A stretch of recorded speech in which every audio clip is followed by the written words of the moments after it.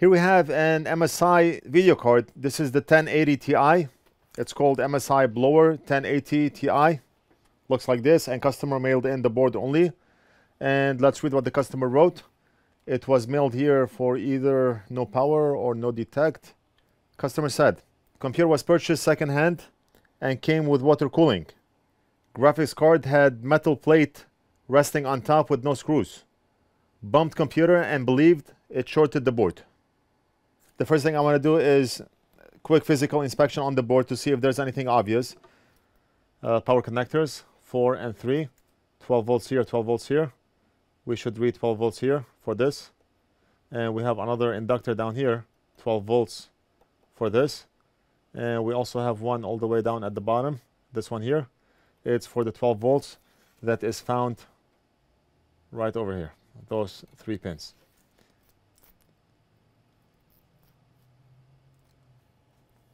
We also have 5 volts on this inductor and we have 1.8 volts on this inductor. I want to do a quick physical inspection on the board. I did so many boards last week and I gained so much knowledge on how every board is laid out. I mean, right here on my bench, I have, I would say about seven boards that I'm working on. I told Big Boss to open as many graphics cards as he can and put them on my bench and I want to go over them one by one. We have a lot and I have to go through them and finish them. I have one here, I have one here. I am working on this one here. I am working on this one here. I have one over here and I have one over here. So all those I was hoping to get done by today, but unfortunately, unfortunately that was not the case. Now I thought, let me finish working on this. Most of those boards are expedited and that's why I want to try to finish them as soon as possible. But my point is, the reason I showed you all those boards is no two boards are alike unless it's the same make and model. Every make and model, they have different layout on their boards. They use different MOSFETs sometimes, uh, different components. And I'm trying to acquire as many donor boards as I possibly can. I have a lot in stock right now so that if I find a faulty component on this board, I can extract that component from a donor board and put it over here. We have some of the cards that we were not able to fix for customers and they gave them to us so we can use those for parts. But uh, let's continue with the inspection. So right now when you see me doing measurements and I tell you this should be 12 volts, this should be uh, 1.8 volts or 5 volts or 12 volts or whatever the case may be is because I'm taking measurements.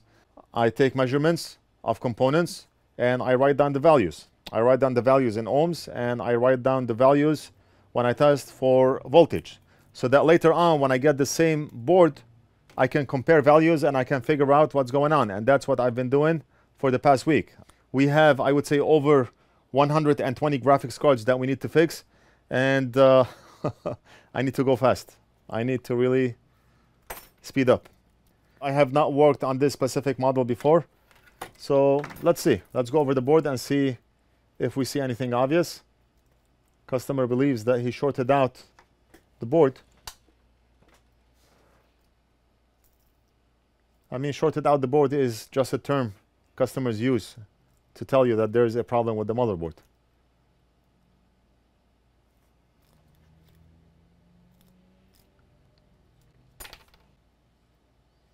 Right, so far I'm not seeing any blown missing components.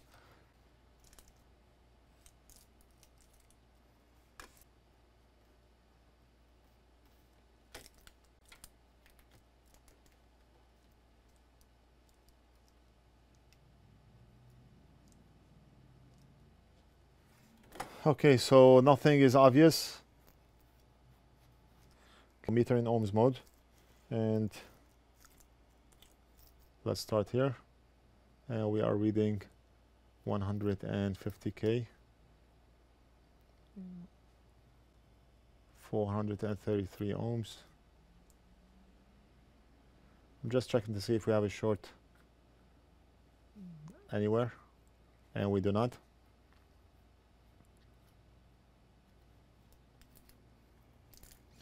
And if we check our PEX rail here, and we are reading 5 ohms. 5 ohms. That's too low.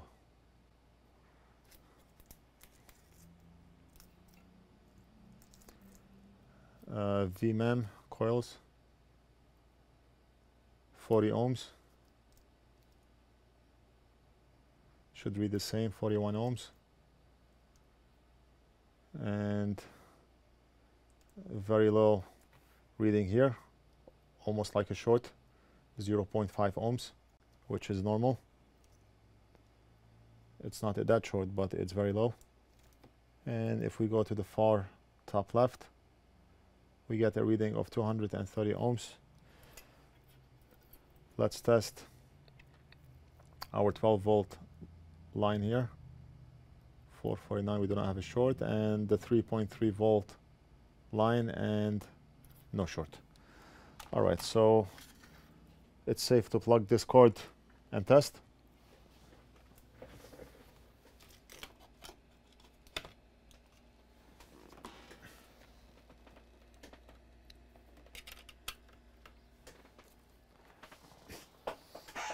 Maybe we can do this and let's turn that board on. And the board is on. While at it also why not check that board under a thermal cam. Six beeps.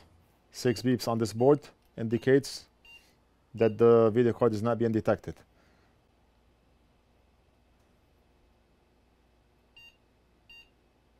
So looking at the thermal cam I see heat possibly on back of the board down on the bottom and some heat on the GPU. We did not inspect back of the board, but the thermal cam is showing a possible problem on back of the board. Let's switch over to the thermal cam.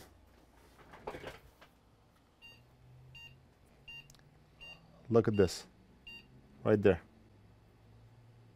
heat is not coming from the front, it's coming from the back. We'll look into that, but for the time being, let's measure some voltages. And I'm sure you cannot see the meter, but what can you do? What can you do? All right, so meter in voltage mode.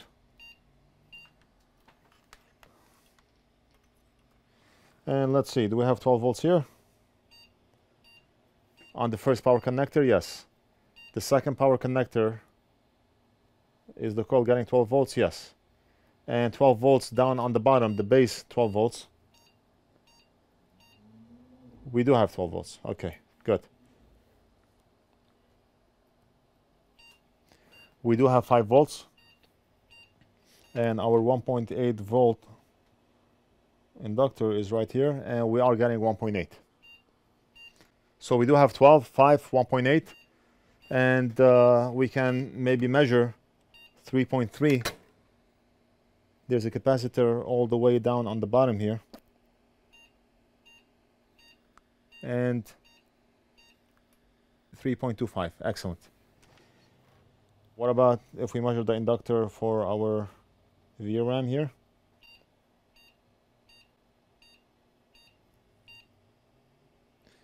We are getting 0.81 0.81 it should be around 0.7 it starts with 0.8 and once the video card is detected it goes down to 0.7 right now it's displaying 0.81 which means the video card is not being detected and it's not currently working.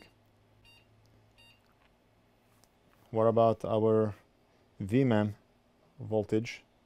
1.3 so for the most part all the voltages are present.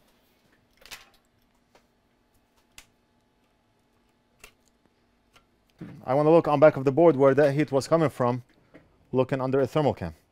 So we have our PEX rail here, and right on the back is where heat was being generated. What's on the back? So our PEX inductor is here, and what's on the back? Oh, oh, oh, look at this. Look at this. Look at this. That's most likely our problem. What chip is that? UP. This is most likely a VRAM controller. We cannot read the writings on this chip, but I know the UP. I've seen that very same chip next to the PEX inductor in the front and not on back of the board. This board, they have it on the back, but usually we see it somewhere here, next to the PEX coil here. So I'm hoping that we can grab that chip from a donor board.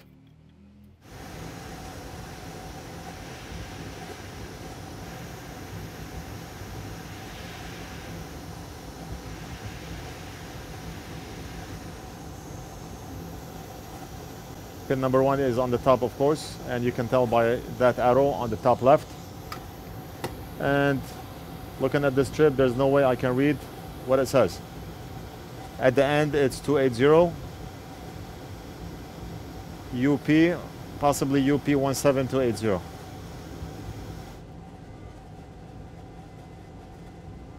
I mean, honestly, I do not have to clean unloaded, but I just want the joints to be clean.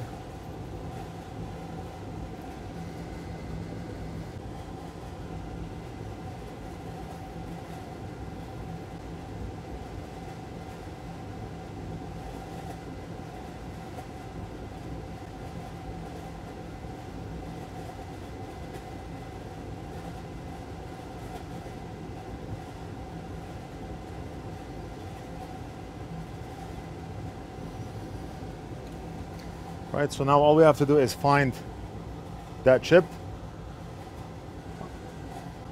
I'm gonna grab a couple of donor boards and I'll be back. So I have this card here and just like I told you, usually next to the PEX rail, we have that chip next to the coil and not on back of the board like this video card. So let's take a look and see if that's the same one. I can tell it's 10 pins right here.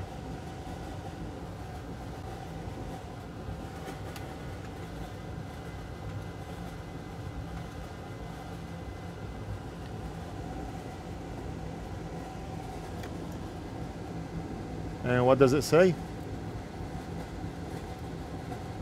UP17280, exactly the same chip.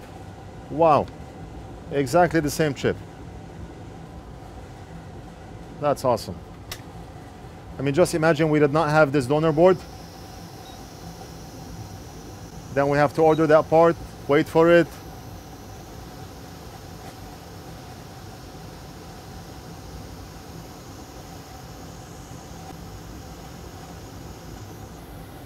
I mean, I cannot avoid from having to order parts for any specific card, but it would be much easier if we had a donor board to extract parts from. It's a lot easier if we had donor boards. I mean, I know it's hard to get donor boards for every make and model, but I get whatever I can. Some customers, if their card is a no fix, they tell us to take the board and use it for parts. And I really appreciate all customers that do that.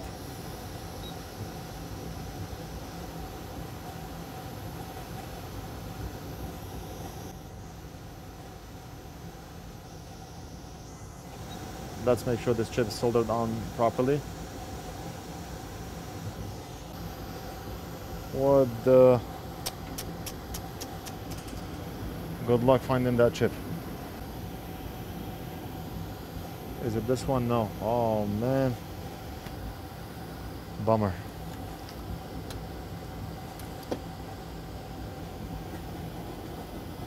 Bummer. Oh, is that it?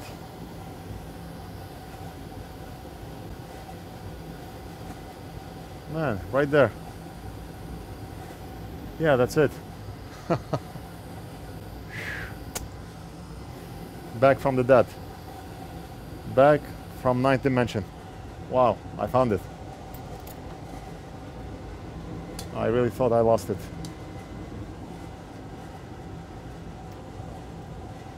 It went flying like a ninja. Now you see me, now you don't.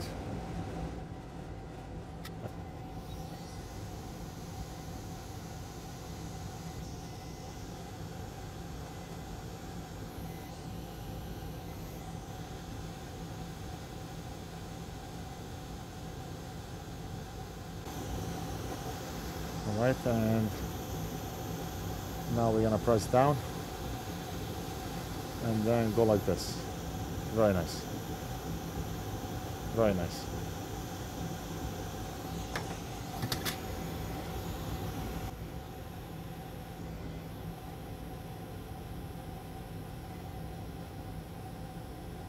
So the chip is soldered on nicely. We did a great job. Some viewers, they comment and say, why do you always keep saying we? You did it, not we. I is an ugly word. I did it. I'm the one who helped him. I'm the one who gave him the money. It's a very ugly word. All right? Great job. But what good is that job if this card still has issues? Hopefully this card works. I'm very optimistic that this card is going to work because all voltage rails are testing good. No issues.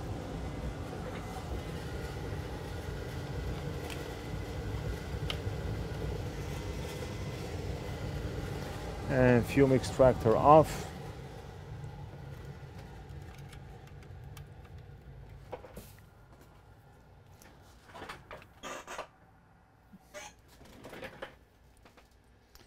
And this will be the last repair for the day. Either it works or it doesn't.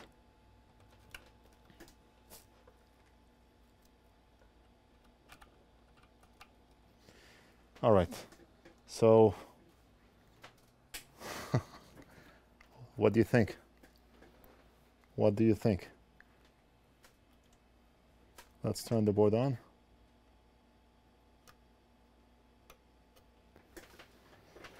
And what do you think?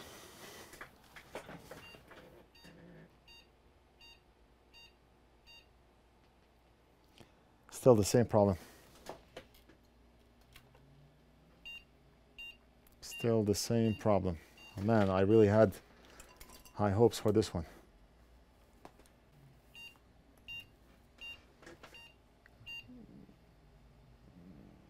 On the VRAM, Okay, uh, 0.87.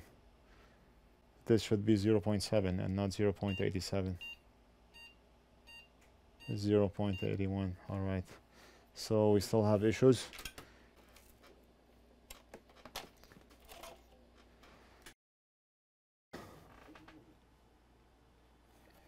What else could it be? What else could it be? The problem is I got too excited too fast. That's what the problem is. I really thought I got this. Unless this guy is not good to begin with from the donor board, but I highly doubt that. Resistance mode again and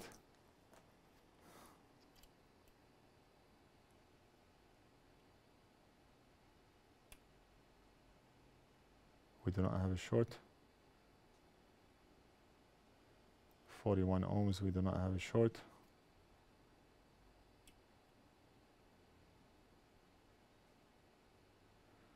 I mean, this area is good.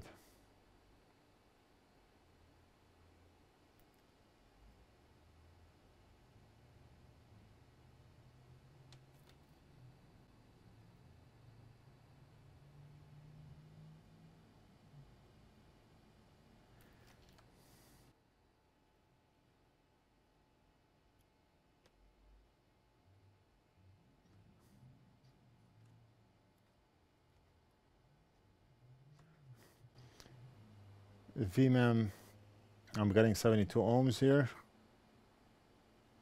And I'm getting 72 ohms here.